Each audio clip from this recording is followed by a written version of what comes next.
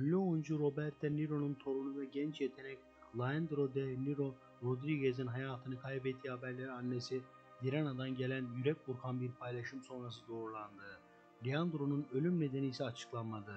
A Star Is Born filminde rol alarak dedesinin izinden giden 19 yaşındaki Leandro'nun pazartesi günü trajik bir şekilde vefat ettiği bildirildi. Leandro popüler bir filmde Dave Chappelle Georgi Nobles Stone karakterinin oğlunu oynamıştı ve Hollywood'da kendi adını duyurmayı başarmıştı. Usta oyuncu Robert De Niro'nun torunu ve genç yetenek Leandro Niro Rodriguez'in hayatını kaybettiği haberleri annesi Diana'dan gelen yürek burkan bir paylaşım sonrası doğrulandı. Leandro'nun ölüm nedeni ise açıklanmadı. Leandro'nun babası Carlos ise hayatını kaybeden oğlu ile ilgili herhangi bir paylaşımda bulunmadı. Ama Instagram sayfasına siyah bir kare paylaştı. Diana ve oğlu yakın bir ilişkiye sahipti ve hatta birlikte film çekmişlerdi. Şimdilik videomuzun burada sonuna geldik. Gündeme dair gelişmelerden anında haberdar olmak istiyorsanız aşağıdan kanalıma abone olup bildirimleri açabilirsiniz.